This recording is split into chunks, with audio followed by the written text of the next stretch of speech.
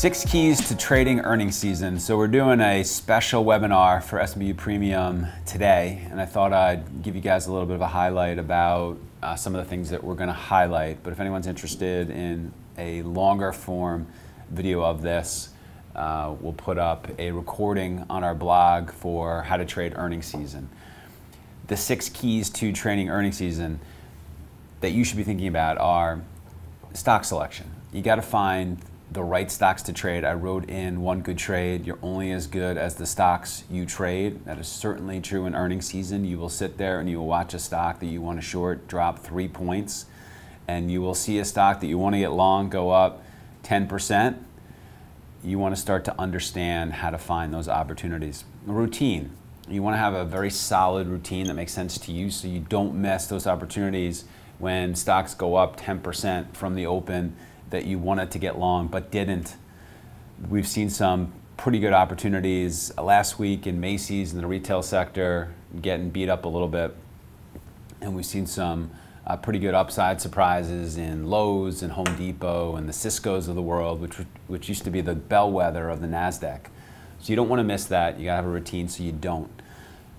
You want to have a recognition of your best trades. Trading is about you understanding your strengths and doing them bigger and more often.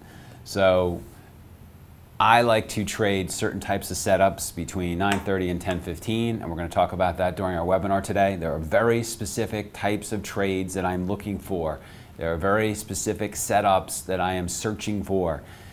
And then from 10.15 on, there are very certain swing setups that I'm looking for that have very specific variables, and I know what they are, and I can tell you what they are, and I know how to find them.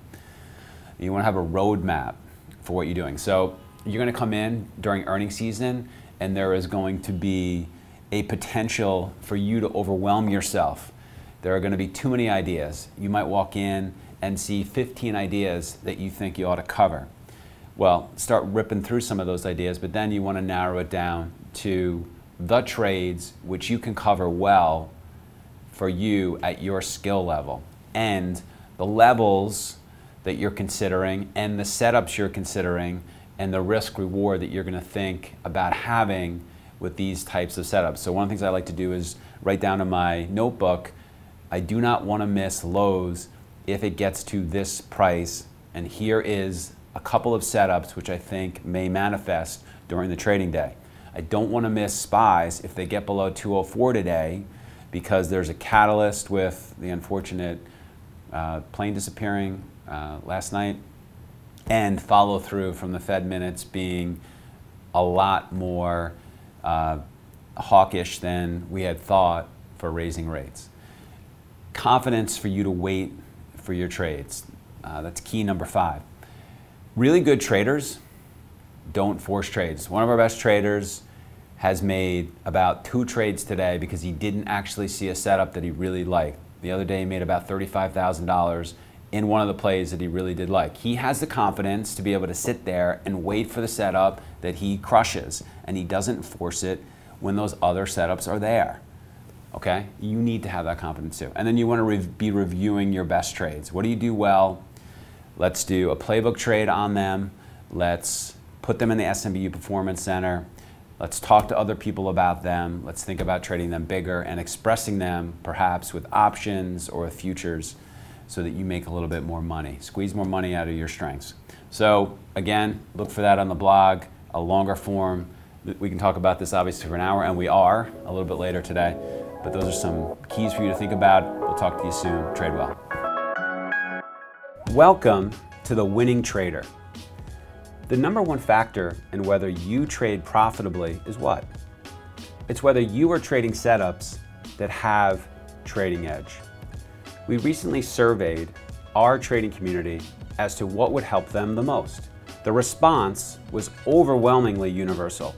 You were most interested in learning trading strategies that you could implement profitably. Or said another way, to solve the problem faced by most traders of lacking setups with trading edge.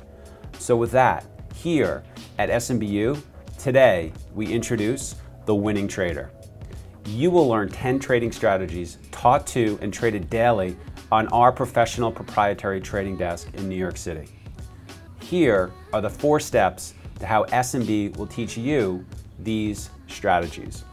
One, we will hold an online live trading class sharing each setup weekly. Two, for the following week, you will archive a playbook trade that we teach you how to do of this setup daily. Three, during our daily mentoring sessions, to which you will have complete access, we will review these setups from that day's trading. Four, you will have complete access to all of our trading tools that will help you spot these setups during market trading and follow along with us trading them in real time. Take the first step towards becoming a winning trader